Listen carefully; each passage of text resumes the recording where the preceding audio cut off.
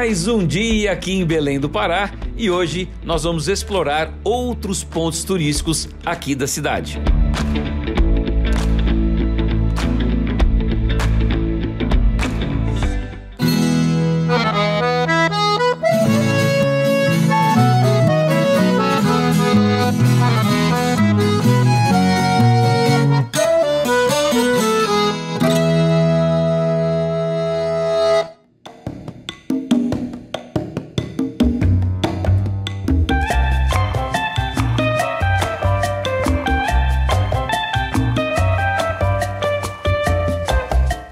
Olha, você que torce pro papão, não fica chateado comigo, tá bom? Vou fazer uma homenagem, cheguei aqui, ó.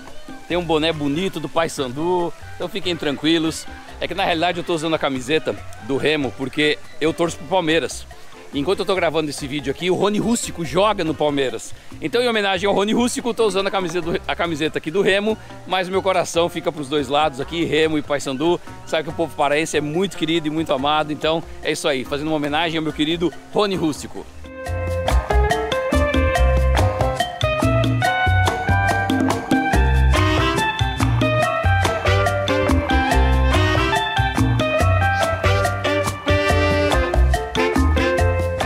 Gente, eu tô com o Leonardo aqui, que trabalha no borboletário. Leonardo, quantas espécies nós temos aqui?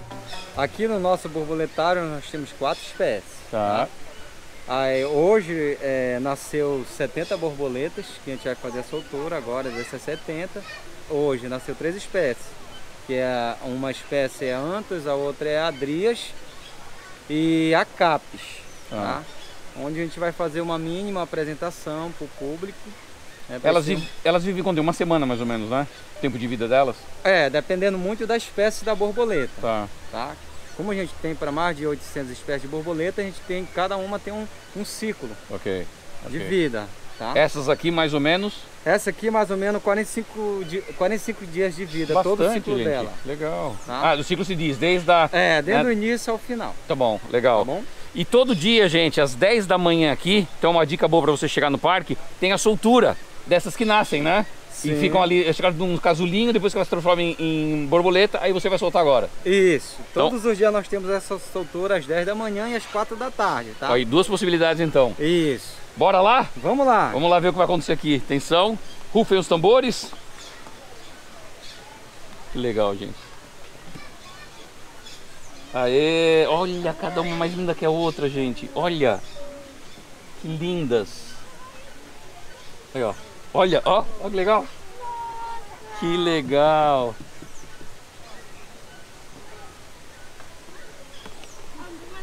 Ó, ó, ó, elas não estão acostumadas ainda, né? Vamos, vamos passear É, na o casa. primeiro voo dela. Vamos, gente. pa- vamos Privilégio, passear, gente. Passear, dela. meninas. Ó aqui, ó, passando Tá. aqui.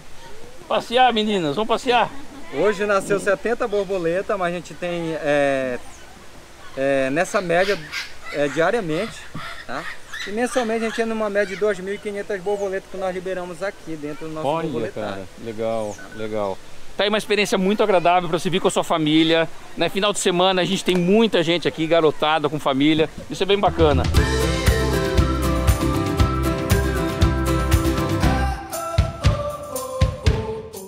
E se você está gostando de conhecer Belém do Pará, já deixa sua curtida e seu comentário. Isso é muito importante e ajuda bastante o nosso canal.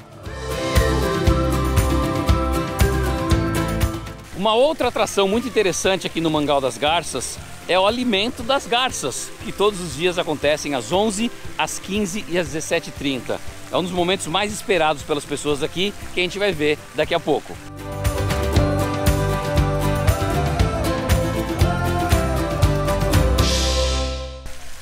Gente, que incrível! E ele nem soltou o peixe ainda. O rapaz está vindo ali, ó, com um monte de peixe, elas já sabem o que vai acontecer. Essas garças, elas são livres, elas podem ir para qualquer lugar que elas quiserem. Olha lá, ele vem chegando.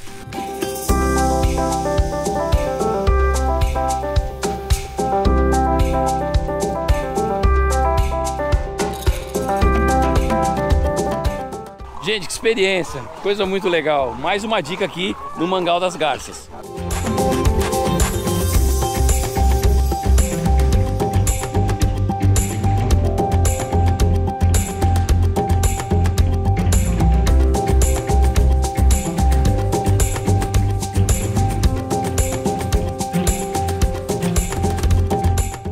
Gente, que experiência única e muito agradável. Estando no Pará, venha visitar o Mangal das Garças. Além de tudo, tem um restaurante maravilhoso que eu comi aqui há muitos anos, a convite de uma amiga minha que mora aqui. Vou voltar, porque naquela época a gente tinha gostado muito, então agora, hora de encher um pouco a barriga.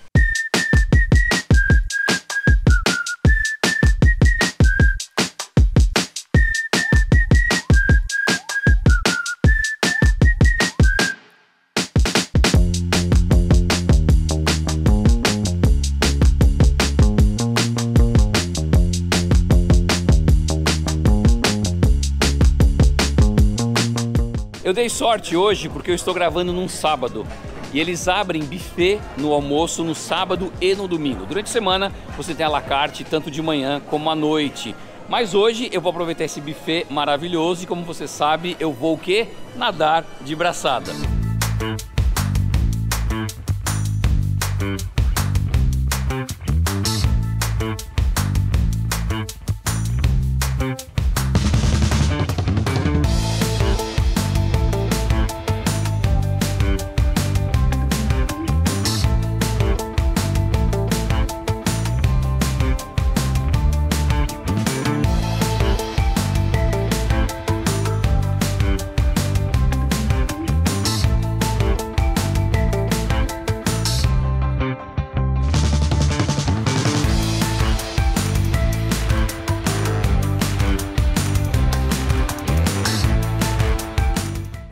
O Mangal das Garças é com certeza um lugar para você aproveitar e curtir a natureza.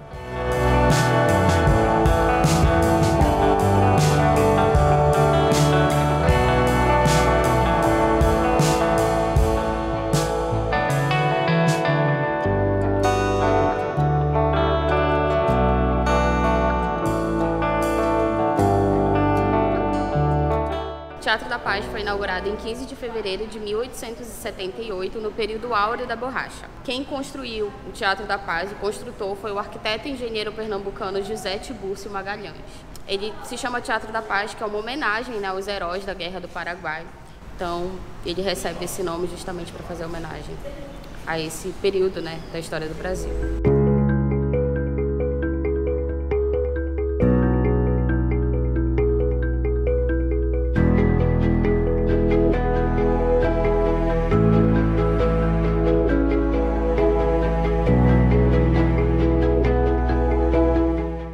Beleza do teatro, que muito me impressionou aqui foram as suas paredes e o seu teto.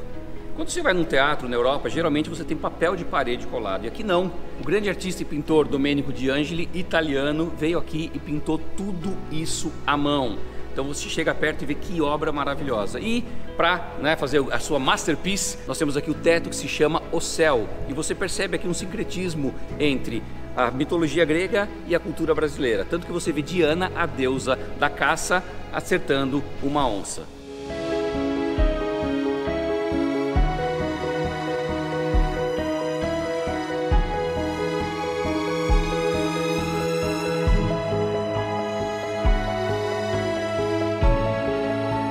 A gente nota aqui a diferença nas classes sociais quando entra aqui no teatro. Você tem essa grande plateia, mas as laterais, bem próximo ao palco, três balcões, três de um lado, três do outro, onde ali ficavam os barões ou as suas filhas, que ainda não haviam casado, ficavam ali para poder se expor e quem sabe algum príncipe encantado pudesse encontrá-las. Mas o grande lance ali é que a gente fala que como todo mundo via essas pessoas, era antiga rede social. Então ele era o seu Instagram, o feed do Instagram ficava ali para as pessoas te admirarem.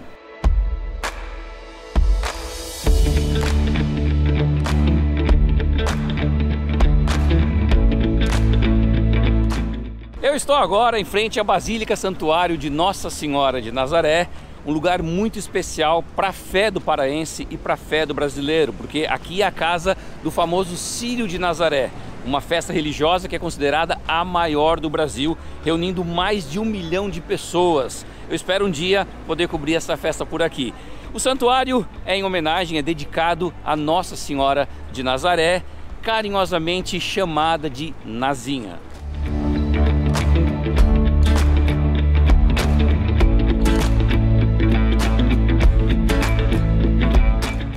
Sempre eu digo nos meus vídeos que a respeito à fé do próximo é muito importante.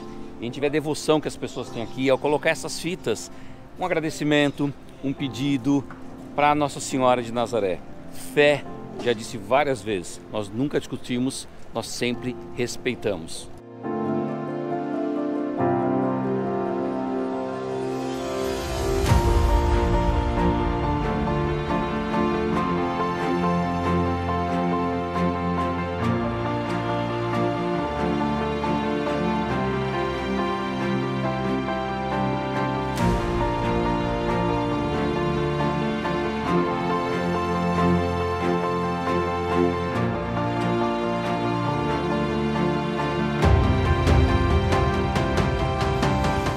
Memória de Nazaré foi fundado em 2012 com o intuito de catalogar e guardar os objetos recolhidos no período do Sírio, no caso os ex-votos que nós denominamos, é, quando os, os, devotos de Nossa Senhora eles acabam reproduzindo a graça que eles alcançaram em objetos palpáveis. Aqui esses objetos são todos rotativos, a cada ano eles vão mudando. Nós recolhemos no período do Sírio e também os, os devotos podem deixar na cripta durante o ano todo na Basílica e eles ficam em exposição aqui. Além dos ex-votos, nós temos também 20 mantos oficiais que compõem né, o acervo, que são da imagem peregrina que ela usou durante os sírios anteriores. Aqui ao lado nós temos esse manto de 2020, que é o mais recente, que está aqui dentro do acervo.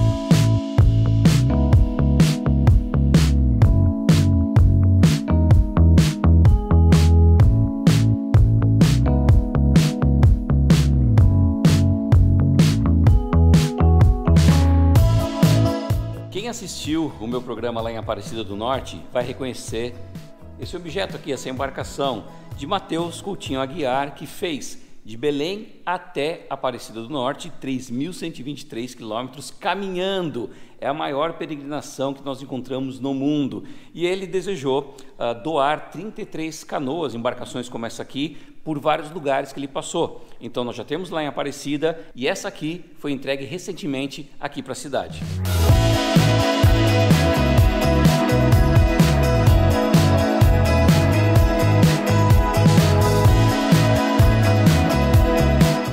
Logo ao lado aqui da Basílica, a gente encontra a estação Padre Luciano Brambila. E o que me chama muito a atenção aqui é a famosa Berlinda, local onde é colocada a imagem peregrina que sai com os peregrinos por aqui no Sírio. Eu não sabia muito da história e achei muito legal esse simbolismo. Nós temos as cordas, que são feitas de sisal, uh, né, entrelaçadas, cordas que pesam cerca de 700 quilos, são feitos 800 metros de corda, sendo que de sábado são usados 400 e depois no domingo outros 400. E a minha pergunta era: por que, que as pessoas tanto tocam nessa corda? Porque elas querem carregar? E o simbolismo disso é muito bacana, porque é como se fosse o cordão umbilical ligado à mãe. Então, a imagem de Nossa Senhora de Nazaré seria a mãe e os filhos aqui colados nela, pagando as suas promessas, agradecendo uma graça recebida. É interessante, como eu sempre falo, a fé do outro é algo muito interessante para a gente sempre respeitar. Eu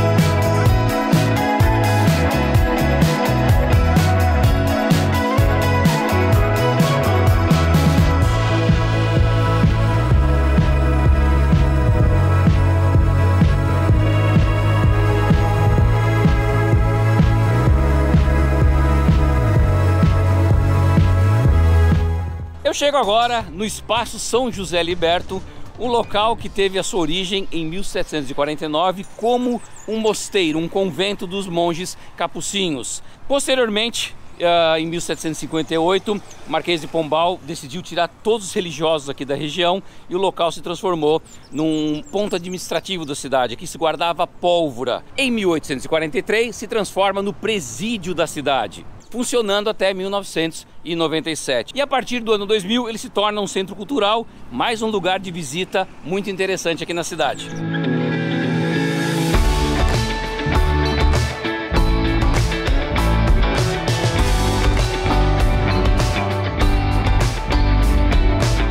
Eu estou agora nesse lugar aberto aqui, que era o espaço onde os prisioneiros vinham tomar o seu banho de sol.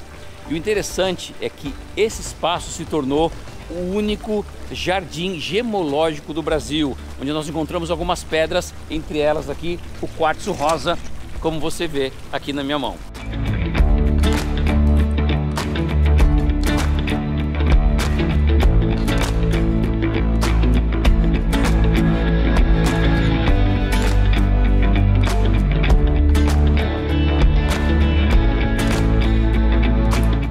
Outro lugar que você não pode perder aqui no Espaço São José Liberto é o Museu Gemológico, em Javil Jardim, e aqui você vem ver essas pedras como ametista, como amazonita, como citrino, como quartzo branco, entre tantas outras, pedras extraídas aqui do estado do Pará.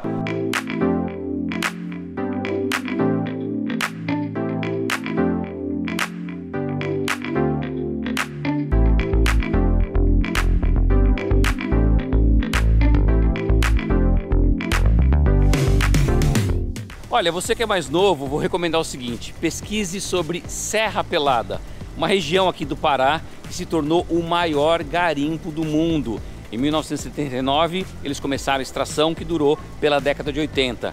Cerca de 80 mil homens trabalhavam ali e por ano, gente, por ano, tiravam 40 mil toneladas de ouro da região. Por isso que é o maior garimpo do mundo. Eu quando ando aí pelo mundo afora, eu gosto de ver as lojinhas e os seus artesanatos. E aqui no Espaço São José Liberto, eles têm algo muito interessante que são essas cuias. Mas mais do que a gente olhar uma cuia, é saber como ela foi feita. É uma comunidade ribeirinha que fica a três horas de barco de Santarém. Ou seja, eu estou uma hora e meia de voo lá de Santarém, mais três horas, e essas mulheres artistas se reúnem, colhem a cuia da cuieira, que é um fruto que não serve para nada. Eles tiram tudo, raspam e fica a cuia e fazem esses trabalhos lindos que a gente está vendo aqui. Eu particularmente gosto muito de ter peças assim na minha casa. Olha essa aqui, eu me amarrei nessa aqui. Opa, o barulho aqui. Isso para mim é lindo. Não sei se vocês conseguem ver se a luz está muito ruim ou não, mas olha só. Eu me amarro nesse tipo de peças. Então, gente, a gente tem que valorizar o artesanato local, essas artistas maravilhosas do nosso país, porque há de convir, né? É muito bonito.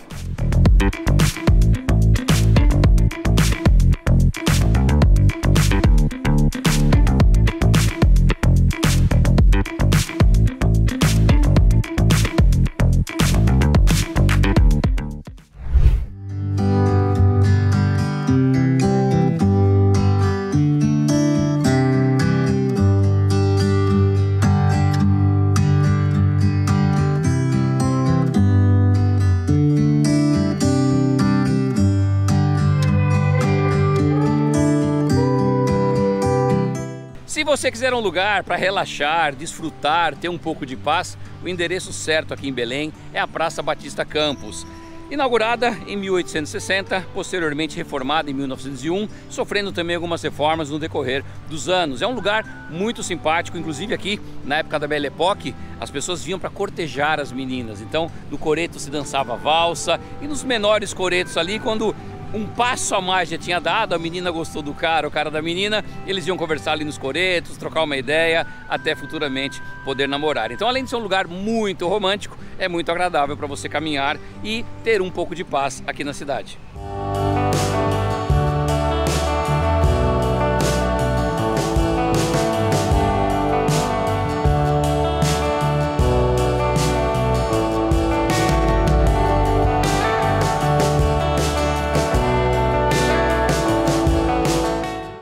Muitos de vocês que me assistem talvez não tenham nem ideia do que era um orelhão. Os mais velhos como eu já sabem, né? A gente não tinha celular antigamente, então nós tínhamos alguns locais espalhados na cidade onde você tinha um telefone aqui dentro e você pegava, fazia uma ligação com ficha ou a cobrar e a pessoa atendia lá no telefone fixo que existia naquela época. Agora que me chamou a atenção aqui que os orelhões antigos, eles tinham esse tipo de imagem que você está vendo agora aqui, principalmente na zona de São Paulo, a gente tinha muito deles, onde eu vivi. E olha só que legal, aqui como se fosse uma urna marajoara decorando a praça. Esse aqui está aqui porque virou uma obra de arte, né? Então se você que é jovem não sabe o que é orelhão, dá uma pesquisada aí no Google, você vai achar a informação com certeza.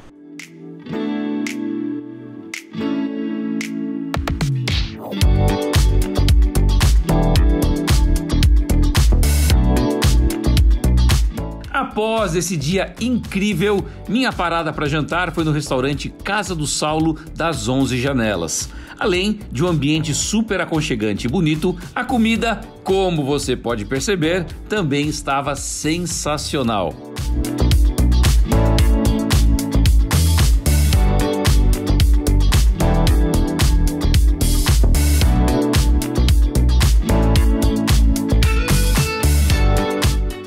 Eu espero que você tenha gostado de mais um giro aqui no Pará. Não se esqueça de seguir as minhas redes sociais e eu te vejo no meu próximo programa, porque afinal de contas, dentro de nós sempre vai existir um louco por viagens.